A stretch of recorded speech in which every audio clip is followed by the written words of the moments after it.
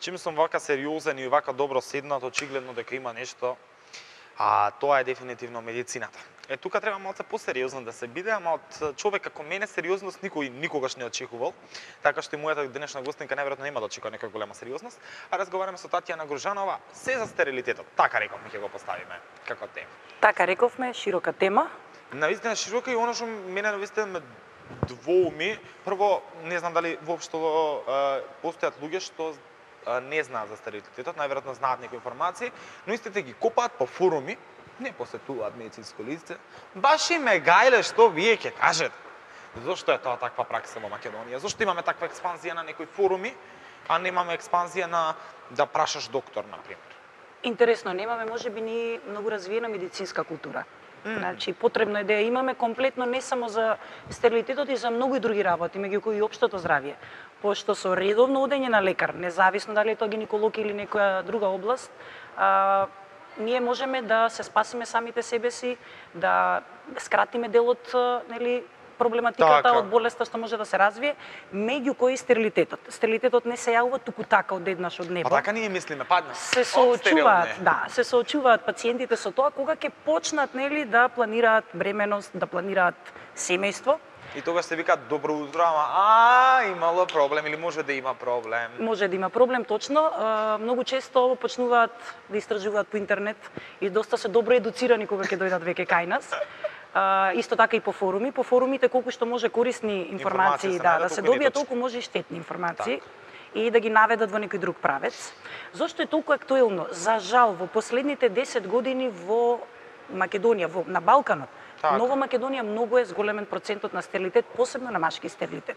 Свесни за тоа или не свесни сме се уште дека е зголемен тој процент? Ние се трудиме, значи тие парови што доваѓаат, многу интересно што веќе доваѓаат некако парови туку поединечно. Сам нели маш ќе се испита, веќе почнува слуша, гледа, чита, ќе се испита, ќе утврди самиот дека има проблем и доваѓа на пример за тоа да криопрезервира, односно да замрзне материјал, или пак сама жена која што вика сакам да замрзнам јајни клетки или како да размислам, веќе сум во години, значи Е, сега мене тука не ми е јасно. Убаво започнавме, одлично. Како се замрзнува? Што се замрзнува? Зависи. Може значи... ли да се објасни тоа како и да ги да ми кажам на моите и односно на нашите гледачи дека телефонските броеви во следните минути ќе бидат отворени за да поставите вие прашање до мојата денешна гостинка, а, а тоа е Татјана Гуржарова. А, што замрзнува?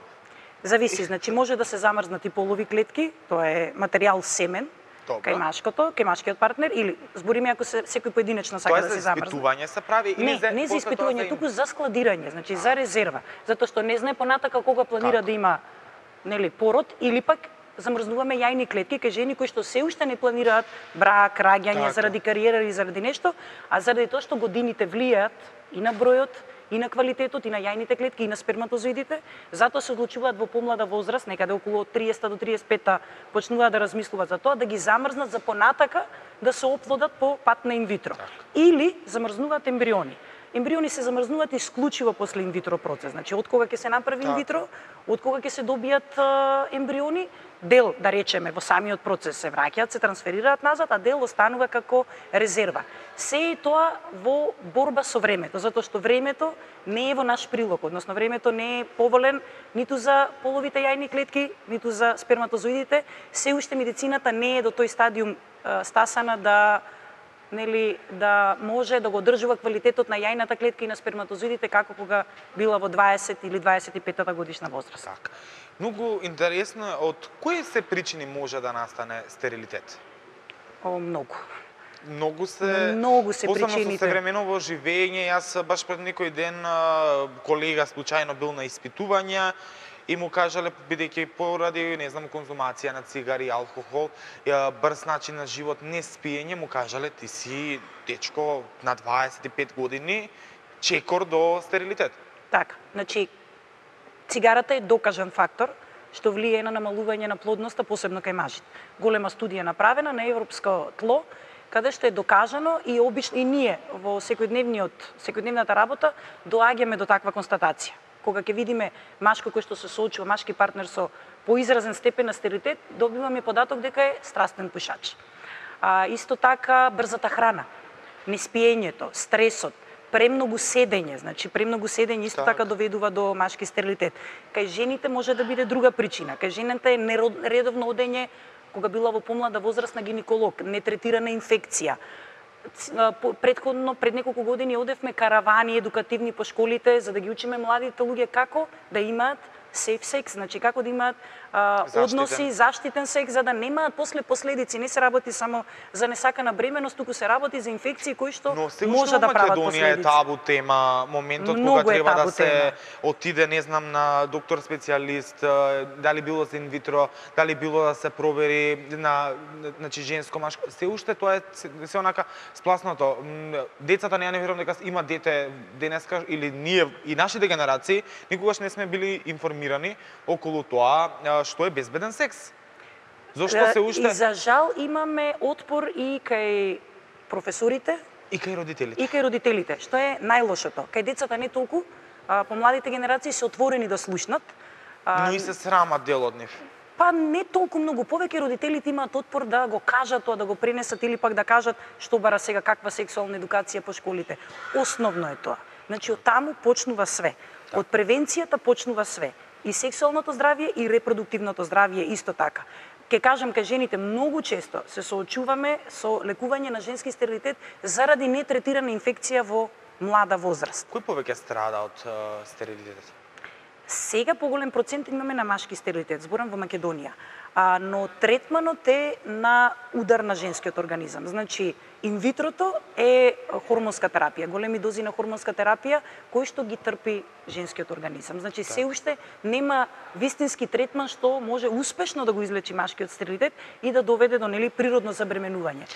Машкиот стерилитет се лекува со тоа што жената се подложува на инвитро процес. Тоа е тежок процес за самата жена. Так. А, докторке, едно прашање и за мажите и за жените. Каков е процесот? Верувам дека многумина сакале да направат испитување дали се стерилни или не се стерилни, но не го направиле истото затоа што не знаат како се одвива тој процес.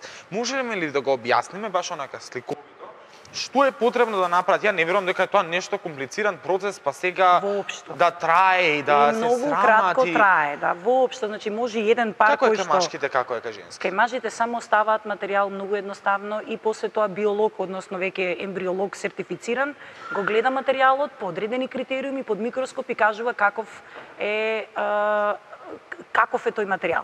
Кај жените тоа е потребно значи ехо да се направи, да се направи а, хормонален статус и веќе од прилика ние имаме слика за тој пар дали се соочува со стерилитет или и каков или не или каков степен на стерилитет е. Дали тоа може да се третира со малце поедноставна терапија, да очекуваме по лесен, значи третман и по и побрз резултат или тоа ќе биде малку потешко за за лекување и за нели краен позитивен резултат односно бременост. Так. Она што во Македонија е да кажам ново во суштина па не се случува некоја експанзија во медицината да е нешто толку многу многу ново, очигледно дека кога во светот тоа е се развиено, па тогаш доаѓа кај нас да биде ново. Инвитрото. Да. Е сега кога на почеток почна да се зборува за инвитро оплодување, тоа беше моментот баш онака сликовито објаснето. Некој од таму мене ќе ми прави дете, па не знам што.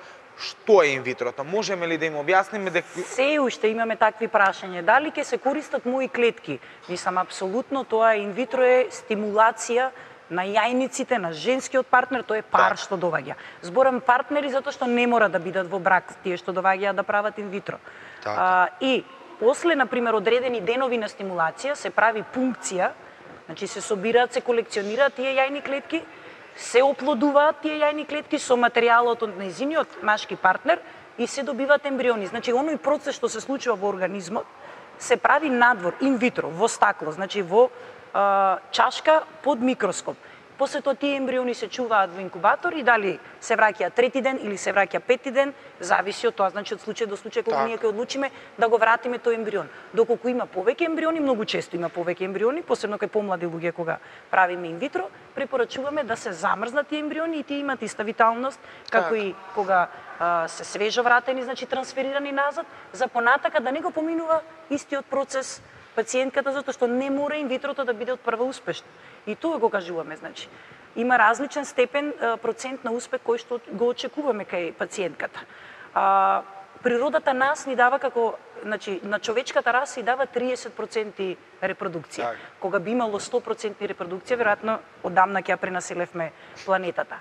А, затоа и пациенти кога ќе се соочуваат со негативен резултат на инвитрото бараат одговор зошто е негативно, нели правиме инвитро треба да биде Се позитивно. позитивно, се успешно. Значи, ако природата дава 30%, ние како луѓе не можеме да бидеме повеќе од природата и да Не може дадеме да видите повеќе. Франкенштайн па сега да измислувате Да да, речеме, правите. инвитрото дава некаков си резултат од 40 до 50% во македонските инвитро центри, што е релативно висок просек на процент на успех кога ќе се спореди со со светските инвитро центри. Пополека се уривали тоа табу дека еве всушност ништо не е страшно тоа е инвитрото и тоа не е некој насилен процес. Како е кај вас се во клиника? соочуваат, се соочуваат пациентите со тоа, треба да го Сварат. да го сварат, да. А, тој податок дека треба треба да се соочат со треба да се соочат со тој процес не е едноставен, не е краток. А, Треба да кажем. потрае, треба верувам да се треба а, трпение. Да се Треба трпение. Да. Треба да се трпеливост за Да. биде тоа. За да биде Но успешно. ние во овој брз живот се повеќе верувам и повеќе ќе страдаме од стерилитетот, затоа што не верувам Така дека денеска очекува, да. не верувам дека некој би се откажал и од алкохол и од цигари кои се еве едни од Алкохолот не е толку причина. Значи, можете да пиете, ама не Не пушете. е толку причина, но цигарата е. Така. Алкохолот не се докажа дека е причина. Какви се случаи сте имале кај вас во клиника? Со што сте се сте се соочиле? Колку од инвитро оплодувањата биле успешни, колку биле неуспешни? Поради што бил се неуспехот, а пак колку сте биле срекни? Кога беше прво направено инвитро во Македонија? Има ли таков податок? О, тоа беше, мислам, дека на гинеколошката клиника универзитетска години има. Так. И има години, и мислам дека пред некој месец имаше податок за првото девојче инвитро што се направи во Македонија. Само точно не знам таа информација да Добро. дадам. А, нашиот процент на успех е отприлика околу 47%, значи на позитивно инвитро. Тоа е многу добар успех. А, разлог, причината зошто едно инвитро е неуспешно е најмногу поврзано со возраст. Посебно со возраста на женскиот партнер. Има ли партнери кои се одлучуваат по 50-та година? да? Има, имаме и доста пациенти. Последната пациентка која што ни е останата трудна има 52 години. Ќе ја поздравам сега, може би не гледа. Поздрав до неа. А, така да, по, кај повеќето овие пациенти што се над 45-та година, обично инвитрото успева со донација на јајни клетки. Значи донирани јајни клетки, дали тоа ќе биде од донор или ќе биде од посебна банка, европска банка од каде што се нарачуваат тие јајни клетки, но во секој случај се прави инвитро и ембрионот се трансферира кај нели пациентката, односно кај идната мајка. Така. И тоа се доста успешни. Во тој дел, значи, со донирани јајни клетки, нашиот центар има некаде околу 74% успех, што е доста висок процент Така, на успех. Така, така. А, донирани јајни клетки, можеме ли да го објасниме како поим? Обично донирани јајни клетки Кој има може да го да донира, како се како иде Ние работиме најмногу со банка, значи таа е по- според европски критериуми банка каде што постои посебна класификација на најдобар квалитет на јајни клетки криопрезервирани, а, самиот пар а, бира по каталог, значи кој каков сака да биде донорот, со какви карактеристики, ги има сите податоци, значи самиот донор на јајните клетки е испитан од а, одредена палета на генетски заболувања. А, кои се акцепторите? Најчесто жени каде што е веќе уништена оваријалната резерва. А, по, најмногу над 40-та или над 45-та година. Оби, чекале, чекале, чекале да се деси бременост и веќе 45-та се соочуваат со факт дека нема да се деси бременост со нивна, ниту со инвитро, со нивни јајни клетки и тога се одлучуваат на донирани јајни клетки. А, се случува и имаме и доста пациентки на 25, 6, 7 и 8 години кои што веќе имаат уништена оваријална резерва и исто така и кај нив се препорачува оваа програма. Инвитро со донирани јајни клетки. Има многу луѓе, буквално, јас знам дека дете како дете која сакаме дете, викаме да е живо и здраво, било машко, било женско, црно, било едно. Зарад на вистина луѓево бираат по каталог деца. Се бираат клетки, не се бираат деца. Добро, но тоа е каква ќе биде најверојатно Се бира клетка, се бира јајна клетка, имаме кои што бираат и донор машки, значи материјалот машки донор, бираат карактеристики. Најчесто бираат карактеристики да се слични на акцептор. Значи морфолошки да наликува на акцептор. так. а, тоа дете што ќе се добие со оплодување е уникатно само по себе, значи. Mm -hmm. И тоа дете, јас имам доста пациентки, веќе и онаа емотивна компонента ја имам забележано кај тие мајки. Еднакво си ги сакаат кога ќе се родат, кога ќе се породат, како да се нивни дете. мислам, да се разбереме, тоа се сепак нивни деца.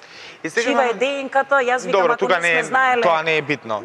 ДНК што е, не сме ни знаеле, или што е моје, што е што Дали мислите дека претеруваме од некој аспект, ајде така да се изразам, во однос на тоа дека порано немало и како што напоменавте вие ДНК не сме знаели, а сега денес па дури се бира, се прави некако технологија напредната, медицината напредната во светски рамки. Па имаме можност и да претераме во тоа што сакаме да го создадеме. Дали почнуваме, стануваме да наликуваме еве сега на репертоарот на драмскиот Франкенштайн, Франкенштайн, Виктор Франкенштайн, може сте го читале митот, може би не. А, човекот се обидува да создаде нешто, да, и на крај сваќа дека ја претерал, дека нема што да прави со него.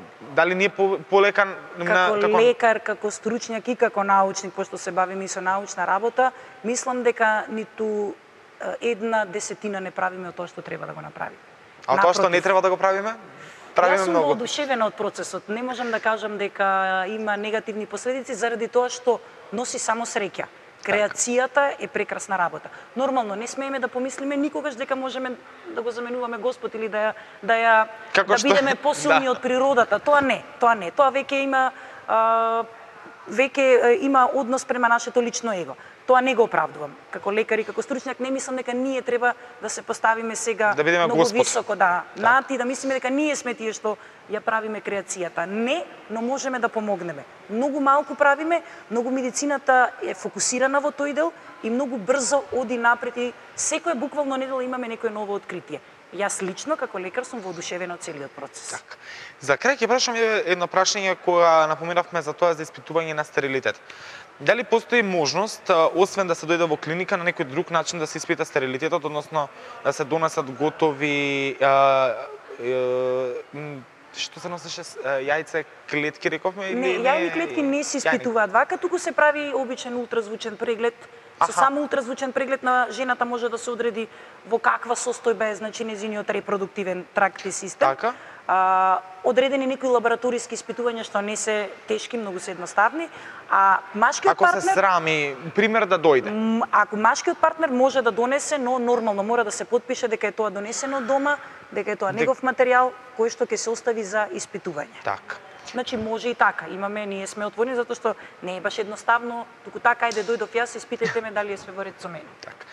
Доктор Татјана, дали се, се кажавме, дали се напоменавме нешто, дали испуштев и јас оглед дека нели медицината малку е подалечна тема од новинарството. Да, да, да, да, и веројатно не е толку популарна тема се уште, па, а треба да биде. Да. Треба да се доближи Буквално до ова треба да се доближи до младите, токму затоа вие сте Посебно денес. превентивната медицина треба да се доближи до секого, за да спречиме после тоа со тешка артилерија да Подобро се да спречи отколку да се лечи. Третираме, точно така, точно Значи така. се напоменавме предпоставам од горе доле. Во грубо, да. Каде може да ме најдат, како може да ме најдат? А ќе ме нај... може да ме најдат во Ньюборн инвитро клиника, односно клиника за гинекологија, акушерство и третирање на стерилитет. Таму се наоѓам. Јас се надам дека секој нареден третман дали на на брачните партнери ќе биде успешен. Јас се надам дека уште многу позитивни бројки ќе ни носите во проценти на позитивни случаи, а секако ќе се видиме нареден пат.